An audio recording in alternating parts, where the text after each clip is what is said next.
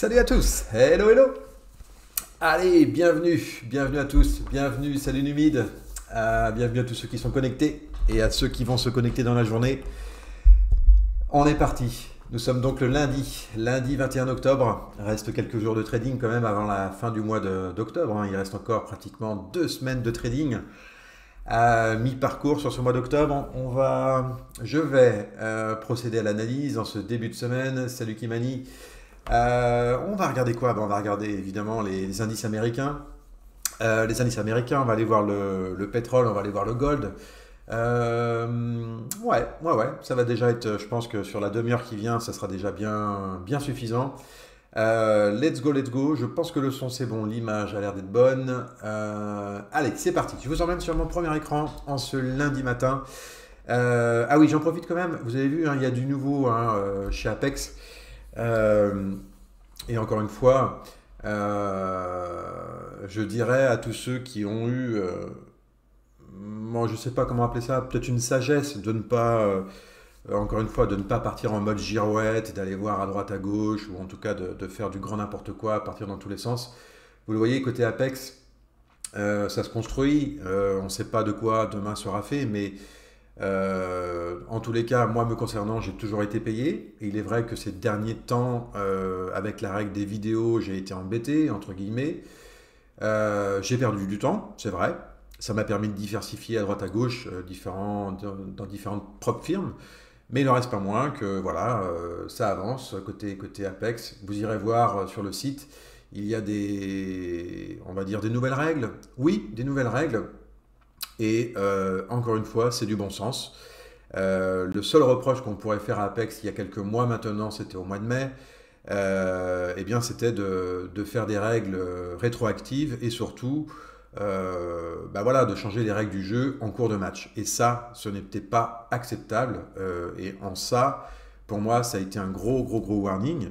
Mais au-delà de ça, il faudrait de constater que les règles euh, qui sortent en ce moment sont euh, vraiment intéressantes. Donc allez jeter un œil. Euh, je ne suis pas là pour vendre quoi que ce soit sur les propres firmes. Faites votre propre opinion sur ce point. Salut le Thomas, salut René. Allez, let's go. On va sur ce qui nous intéresse concrètement. ce sont bien les marchés financiers. Et le premier écran ce matin, je vais vous emmener tout de suite.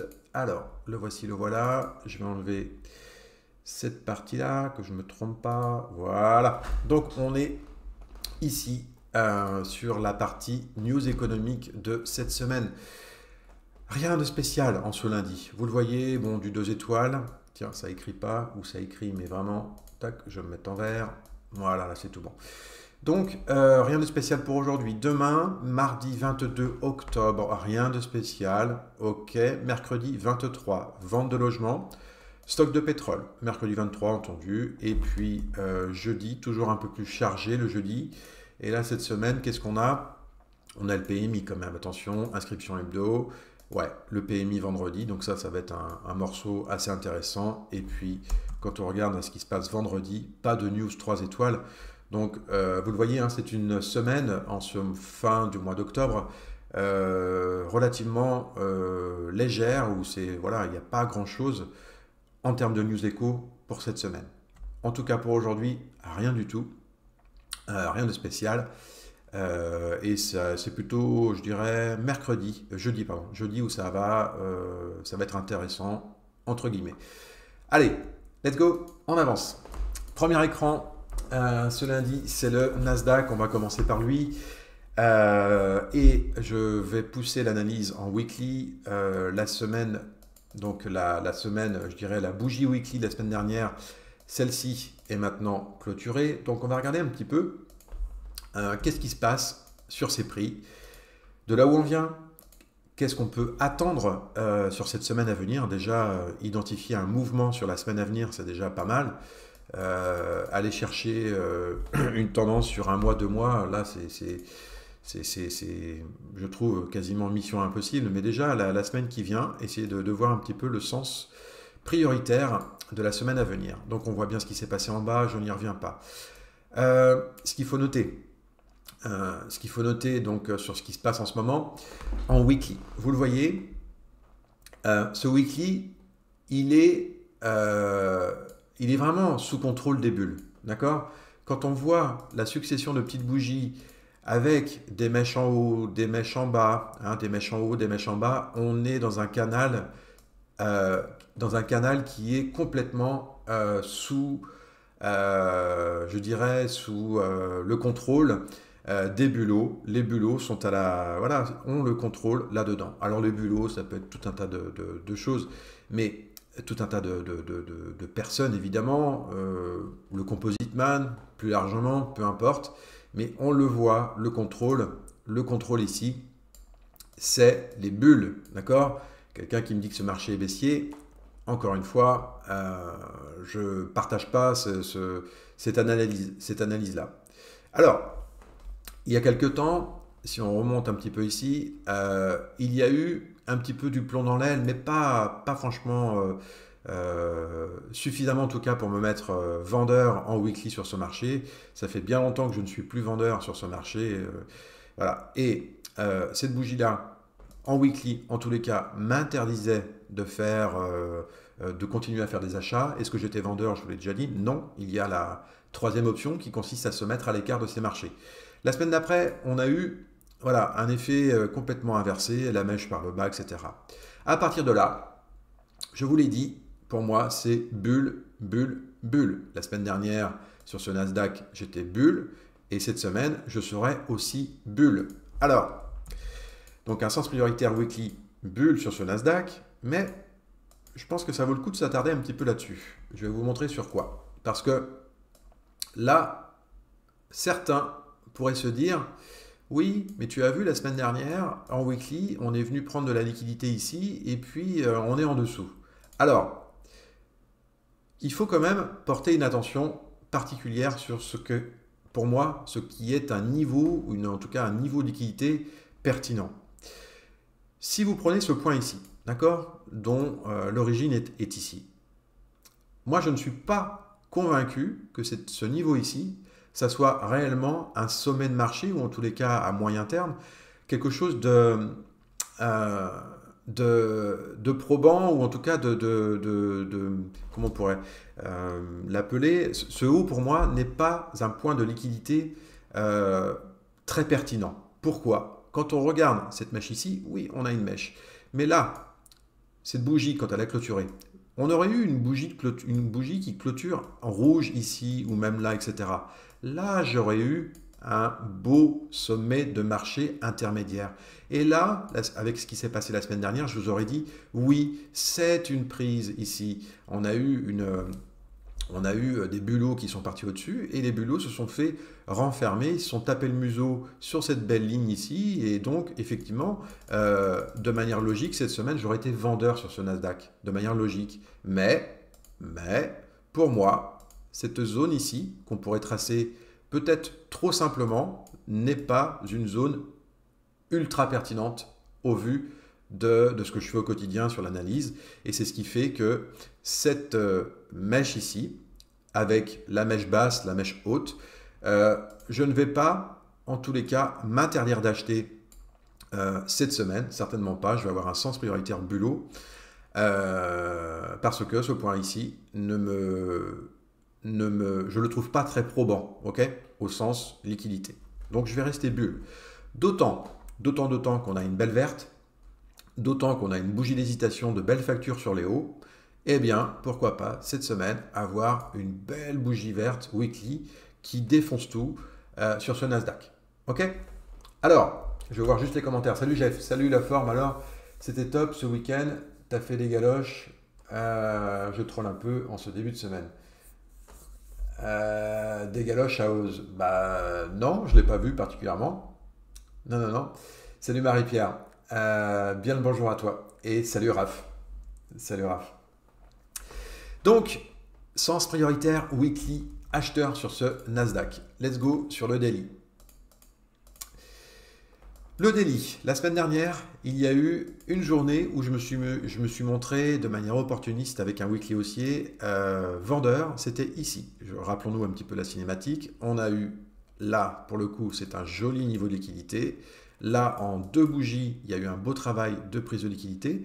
Et c'est ce qui fait que cette journée-là, j'étais vendeur uniquement sur le Nasdaq. Hein. Le S et le Dow Jones n'étaient pas intéressants à cette époque-là, etc. Avec un point d'intention ici. Euh, j'aurais continué à vendre si la clôture avait été, ici euh, bien rouge. J'aurais continué à vendre pour chercher des niveaux plus bas. Or, ce qui s'est passé la semaine dernière ici me montre encore une fois que les bulots étaient à la manœuvre. Ok, alors, les bulots à la manœuvre, vendredi dernier, je vous ai dit quoi? Cette bougie ici, là, qui vous dit oui, c'est une bougie vendeuse, etc. Je vous ai oui répondu oui, c'est euh, dans les livres, elle vous dit qu'elle est vendeuse. Toutefois, méfiez-vous, méfiez-vous avant de vendre une bougie telle que celle-ci de manière isolée, c'est du grand n'importe quoi. Cette bougie-là, il faut la mettre dans son contexte. Le contexte, il est ultra bullish. Le contexte, on a une liquidité qui est ici, qui n'a pas été tapée. Euh, d'autre part, le contexte à plus euh, court terme est ultra bullish, aussi. On voit qu'il y a une réaction intéressante sur ce bas ici. Vendre vendredi, pour moi, non et non. D'accord? Je vous... Enfin, bref. Mais je n'étais pas acheteur pour autant. Et ni sur le S, ni sur le Dow Jones. Non, sur le Dow Jones, j'étais acheteur. On ira le voir après, vendredi. Et donc, Nasdaq, il était à l'écart. En ce lundi, en ce lundi, sur ce Nasdaq, est-ce que vous voyez quelque chose de différent par rapport à vendredi? À savoir, est-ce qu'on a passé au-dessus cette bougie-là, ou encore en dessous? La réponse est non. Est-ce qu'il euh, y a des signaux, en tout cas une bougie euh, qui, me dit euh, oui, tu peux rentrer longue, non, il faut que tu sois short? Bah, Pas plus que ça en fait. pas plus que ça. donc là, pour aujourd'hui, il y aurait peut-être un petit avantage aux acheteurs pour venir foutre en l'air tous ceux qui ont essayé de vendre cette bougie-là, là, et donc venir taper euh, au-dessus, euh, avec une bougie effet qui se coule, accélérer vers les hauts. Mais je pense qu'il y a mieux à faire sur d'autres actifs qu'on va aller voir après. Donc le Nasdaq, même s'il y a un petit avantage, je trouve, aux acheteurs plus que vendredi encore, euh, mais je ne tenterai pas. Le Nasdaq, je le mets de côté. Le placement du prix sur le Nasdaq ne m'intéresse pas en ce lundi. Il est mal placé. ok? Donc en intraday, ça ne m'intéresse pas. Je mets le Nasdaq de côté. C'est aussi simple que ça. Ok Allons voir maintenant le S. Le S, quant à lui, euh, nous envoyait un signal plus net à la vente, euh, à la vente vendredi. Toutefois, toutefois, hop, je vais me mettre en weekly. Donc, on va revenir sur le, sur le weekly. Le weekly ES de la semaine dernière, pour moi, c'était un sens prioritaire. Enfin, peu importe. Hein. Mais si vous voulez faire les curieux, allez voir l'analyse de lundi. Pour moi, on était cette bougie, on ne la connaissait pas, évidemment. Mais au vu de tout ce qu'a fait euh, le S dans un tel élan, etc., blablabla. Bla bla, Rappelez-vous aussi l'objectif. Alors, je me penche un peu parce que ma webcam me, gêne. Rappelez-vous ce chiffre rond ici. Je, je le vois juste ici. C'est quoi ça? C'est un énorme chiffre rond. Énorme chiffre rond. On l'a vu en termes de projection des prix avec l'impulsion 1, l'impulsion 2, je ne vous refais pas tout ce qu'on a vu euh, les jours précédents, même les semaines précédentes. Euh, on est à quelques points là des 6000, d'accord? Alors est-ce qu'on va les atteindre euh, cette semaine, la semaine prochaine? Ou pas du tout? J'en sais strictement rien. Mais en tous les cas, en termes de projection des prix, ce, qui tient mon analyse à l'achat, aujourd'hui, je n'ai aucune raison Salut José. Je n'ai aucune raison de changer cette analyse-là, cette, projection des prix sur les 6000 à horizon, je ne sais quoi. Peu importe le timing, en tout cas, cette projection des prix à 6000, un énorme chiffre euh, rond, euh, ça tient toujours, je n'ai pas de signal euh, inverse, etc. Donc pour cette semaine, ben, pourquoi faire compliqué quand on peut faire simple Entre guillemets, ça peut parfaitement baisser de 6%, peu importe, mais en tout cas, l'analyse technique me montre quoi? Oui, encore cette semaine, bulle, bulle, bulle. Ok? Donc sens prioritaire weekly, acheteur euh, sur cette ES. Maintenant, en daily, on a eu, on a quelque chose qui peut gêner dans euh, le sens prioritaire de la journée. Et ce quelque chose, c'est ça. Et d'ailleurs, il a été suffisamment, euh, on l'a travaillé ensemble en analyse vendredi, c'est ce point ici. Ça, c'est ce qui s'est passé jeudi. Et ça, est-ce que c'est un signal de vente? Je vous réponds non. Est-ce que c'est un signal d'achat? Bah, Évidemment non. Mais beaucoup ici prendraient tout de suite cette bougie en se disant ouais, je vais vendre, j'ai une bougie avec une mèche, on a pris la liquidité en haut. Rappelez-vous ce que je vous ai dit vendredi, rappelez-vous de là où on vient, qu'est-ce qui se passe? On a un marché qui est ultra bullish. Et avant de rentrer court en intraday, s'il vous plaît, s'il vous plaît, attendez des confirmations. Ça mange pas de pain les confirmations. Ça ne mange pas de pain. Et là, vendredi, je vous disais, mais même si on a un beau signal, qu'est-ce qui, serait quand même vachement plus intéressant d'attendre des bougies rouges, au moins une autre, afin de confirmer ce qui est en haut ici. Et donc le S, vendredi, je n'étais plus longue. Pourquoi je n'étais plus longue en intraday? Parce que ce signal-là était dangereux. C'est un signal de vente, ici, en haut. Mais je n'étais pas court non plus. Donc le S était mis de côté. Et là, pareil, même question. Est-ce que en ce lundi, il y a du changement côté ES bah, La réponse est non. On est toujours sous l'effet de cette bougie ici, sous l'effet de cette prise de liquidité. Donc, est-ce que je vais me mettre à acheter ici? Bah, Je dirais même encore moins que vendredi, même, même si je n'étais pas acheteur vendredi. Mais là, vous voyez bien que le prix, pour moi, il est ultra, ultra mal placé pour faire du long. Il est mal placé aussi pour faire du court. À mon humble avis, c'est trop tôt euh, avant de faire quoi que ce soit en short. Donc là, il est urgent, urgent, urgent d'attendre quelque chose de plus lisible sur cette ES. Même si, encore une fois, pour moi, on est dans un canal qui est gouverné, qui est euh, mené, qui, voilà, qui est tenu d'une main de bulles. Tous les bulles ont la main dans, dans, ce qui se passe en ce moment. Donc, euh, je ne serais absolument pas étonné d'avoir des bougies vertes, etc. Et si on repasse au-dessus celle-ci, une accélération. Et pour aller chercher quoi? Eh bien les 6000. Alors vous savez, hein, je me trompe euh, régulièrement, euh, même très souvent. donc ce n'est qu'une analyse, je ne suis pas un conseiller voilà, en matière financière. c'est mon analyse du jour. Et sur cette analyse du jour, le Nasdaq, je le mets de côté, et le S, je le mets de côté en intraday. Le placement du prix, euh, je le trouve euh, mal placé et je trouve cette zone euh, extrêmement délicate à aborder, aussi bien au niveau des achats qu'au niveau des ventes. C'est quand même... ouais, là, on est vraiment sur quelque chose d'ultra technique. D'ultra technique. Quand on a, vous voyez, des marchés, euh, on clôture au-dessus, petite bougie d'hésitation. Là, j'ai envie de dire, c'est pas très technique en fait. Hein. Une grande verte, bougie d'hésitation. La grande verte, ça a été travaillé ensemble. Celle qui a suivi, je vous disais, une bougie pour s'extraire de, ce niveau-là et une deuxième, c'est tout à fait. Euh, voilà. Cette grande rouge, bah, il y en a combien qui ont essayé de shorter ensuite? Je vous disais, mais non, non. Euh, c'est un pullback de belle facture, certes. Peu importe. Mais là, on est c'est très très très technique ce qui se passe ici parce qu'on est tenté de vendre et surtout euh, on est vraiment tenté de vendre et je trouve ça beaucoup c'est prématuré. Prématuré prématuré en intraday. Donc allons voir le Dow Jones. Let's go. Et comme vendredi je crois que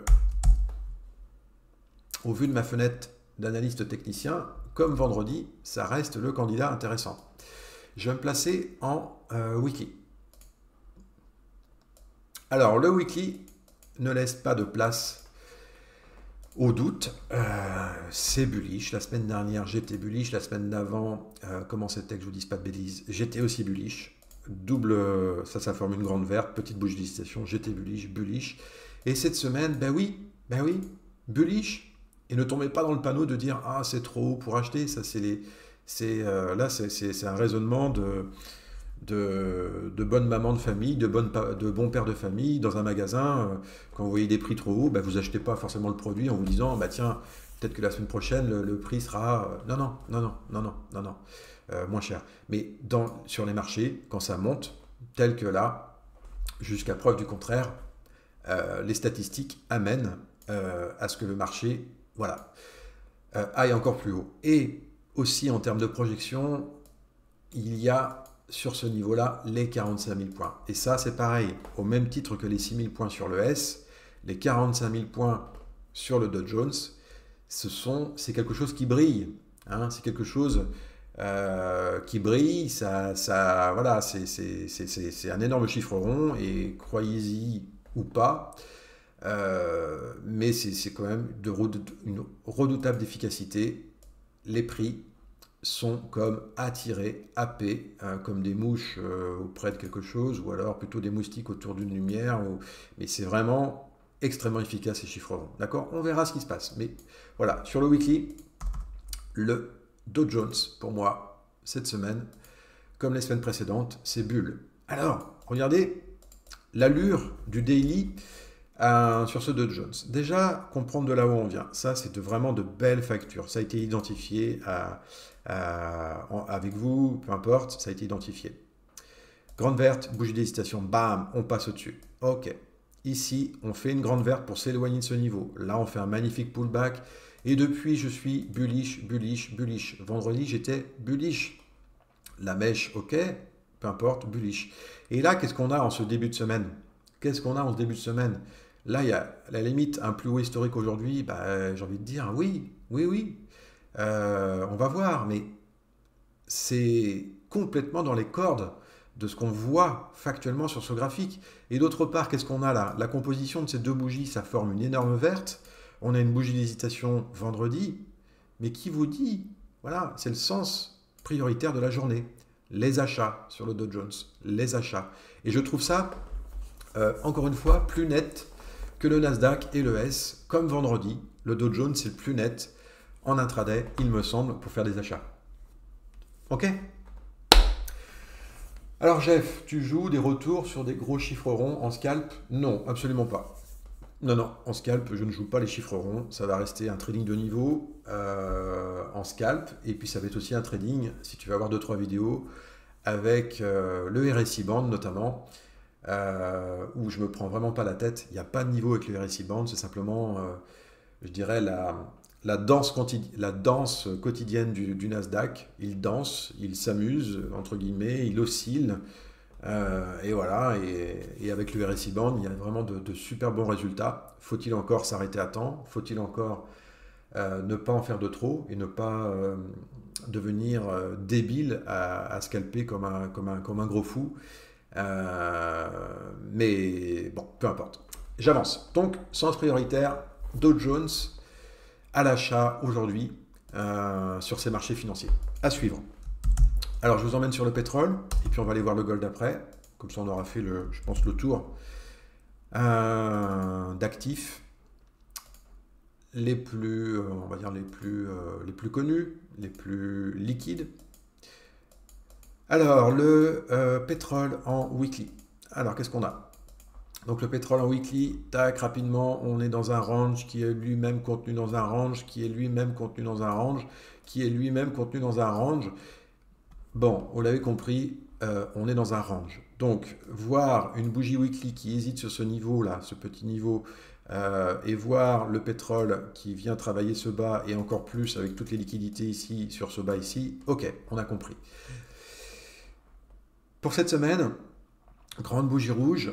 Euh, là, le point, le point bas est ici. Donc, pourquoi pas aller chercher euh, de nouveau un bas ici sur le pétrole. Euh, je dis bien, je modère un petit peu, je dis bien pourquoi pas, mais bon, c'est le sens de l'histoire. On va rester factuel, on va essayer de, rester vraiment le, plus factuel possible, donc sens prioritaire, un baissier. mais ce qu'il faut quand même noter, là c'est plus mon, œil averti, entre guillemets, c'est que quand on est dans, des ranges de ranges de ranges, on peut parfaitement avoir un, prix euh, ben, qui, euh, qui, va pas forcément chercher de la liquidité sur des bas. voilà, on peut parfaitement s'arrêter par ici, puis aller chercher la compression, la compression, et puis diminuer, diminuer. Mais le sens logique des choses, sens prioritaire, baissier sur ce pétrole pour cette semaine.